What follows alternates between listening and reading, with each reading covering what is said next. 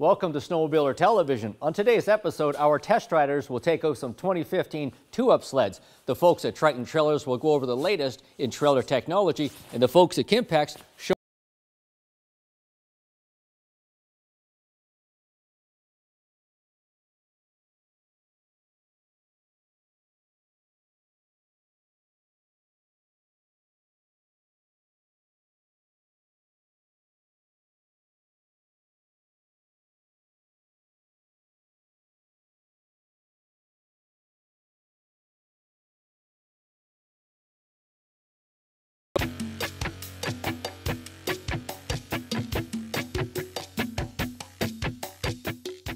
touring sleds have come a long way from the 80s and 90s when really all you had was an extended seat and hopefully a strap for the person to hang on so they didn't fall off the back. Today's touring sleds are pure luxury. Lots of heat, lots of wind protection, lots of luxury. So that all said, we also threw a couple other sleds into the mix today just to jazz it up a little bit, if you will. So let's go see what the test riders have to say about the ultimate in luxury touring sleds.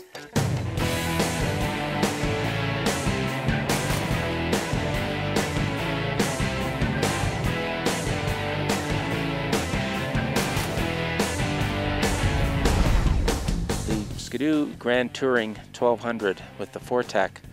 Um, today we head out and uh, for me it's the BMW of snowmobiles. And for 2015 BRP has put the silent drive on the uh, Grand Touring with the 1200 motor. And if you haven't uh, rode a, uh, a, sled with uh, silent drive, uh, you, you really owe it to yourself.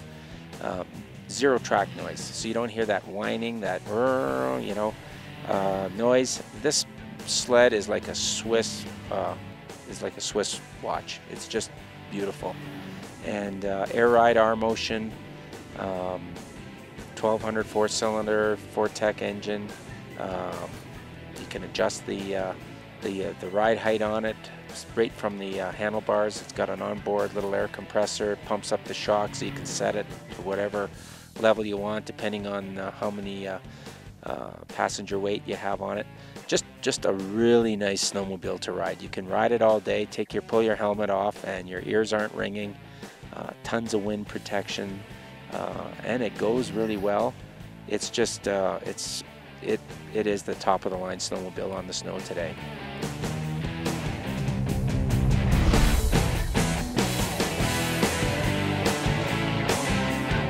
Uh, new for 2015 for Arctic Cat is the Pantera 7000. Uh, we were riding the base model today. It comes in the base or limited. The limited gets uh, the extra saddlebags and um, uh, deluxe gauge and little things like that.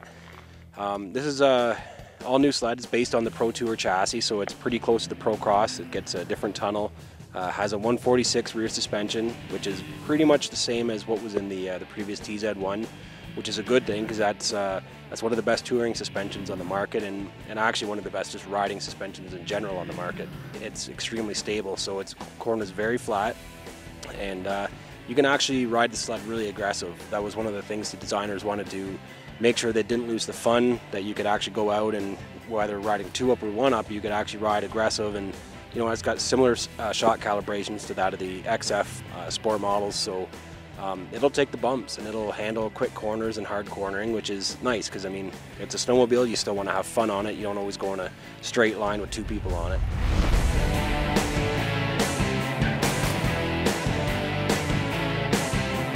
The Adventure also is in the new AXYS chassis.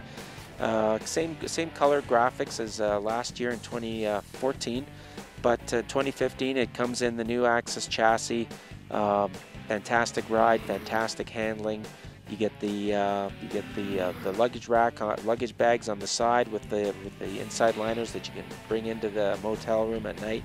So all the goodness the Switchback has been known for. It's the original adventure on off-road uh, snowmobile, and Polaris has, I guess, uh, defined that category or created it, you know, based on the KTM type motorcycle adventure bikes that are really popular in the summertime.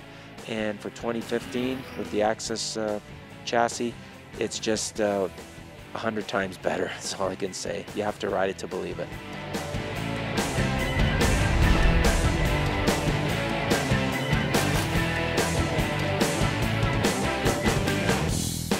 So we rode the 2015 SR Viper STX DX. It's a new model for 2015.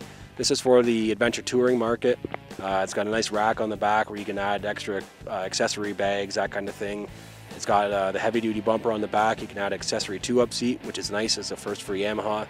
Um, comes with a large windshield, the tuner skis, and uh, the biggest feature on the machine is the, the 141 inch long track. It's a Cobra track, uh, 1.352 lugs, but it's an uncoupled suspension. So it's not going to ride as well as the LTX uh, that has the 137 coupled suspension. You're going to get a lot more weight transfer out of it. It's going to definitely pivot more in the corners. So it takes a different riding style, but once you get off trail, and you want to do a bit of exploring, you're going to like that uncoupled suspension. When you want to get on the gas, it's going to lift those skis off the snow, let that machine get, uh, maneuver around a little easier. So, um, yeah, I mean, I, I've, we've put miles on the suspension before. Uh, it's no different, um, the, you know, in the in the STX version, and uh, it's going to be a good machine for Yamaha, and it's uh, it's a good all-around machine. It's not uh, not a great riding trail machine, but it's great. You know, it's pretty good off trail, and it'll handle actually quite a bit of powder as uh, we found out this year. So it's pretty comfortable and lots of wind protection and carries all your gear as well.